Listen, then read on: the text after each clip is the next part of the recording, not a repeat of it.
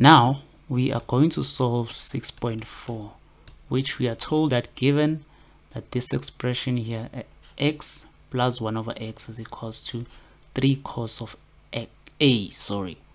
And then this expression here is equals to 2 so you need to determine the value of cos of 2a without the use of a calculator.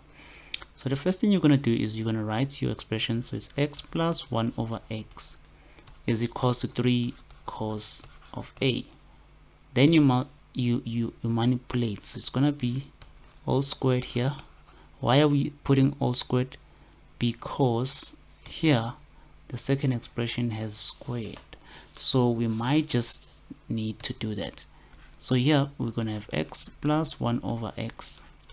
X plus 1 over x which is the expansion of this one here equals to 9 because the 3 to the power of 2 is 9 cos squared a.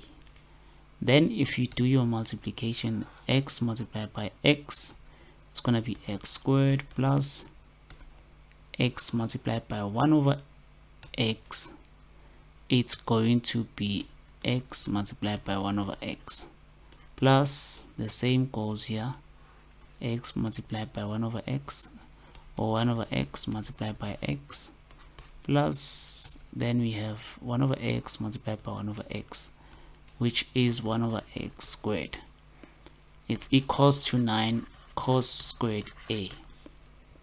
So here we're just going to write x squared plus and then here it's x multiplied by 1 over x or x multiplied by then 1 is going to remain. It's going to be 1 plus 1 plus 1 over x squared equals to 9 cos squared a then you add everything up so this 2 will add up. Then you're to have x squared plus 2 plus 1 over x squared equals to 9 cos squared a.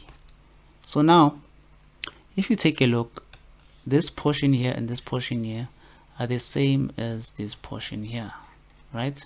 So we're just to put them together and equate to 2 because this x squared plus 1 over x squared is actually equal to 2 so we'll equate it to 2 so meaning that this portion here is actually equal to 2 so we're going to put 2 instead of it. 2 plus 2 is equals to 9 cos squared a. And then it's going to be 4 is equals to 9 cos squared a. And then we divide by 9 you're to have cos squared a is equals to 4 over 9 right? But you're still not done. So you need to remember that now you have cos squared a is equals to 4 over 9 but if you write a double angle cos 2a is actually 2 cos squared a minus 1 which in this case where you see cos squared a you're gonna put this 4 over 9 here. So it's gonna be equals to 2 4 over 9 minus 1 why are we doing this? Because we are asked to find cos of 2 of a. Now if you use a calculator here you're going to get an answer of minus 1 over 9 so that is the solution of this problem here thank you so much for watching. If you have any questions suggestions or comments please write them in the comment section below. Don't forget to subscribe to the channel for more videos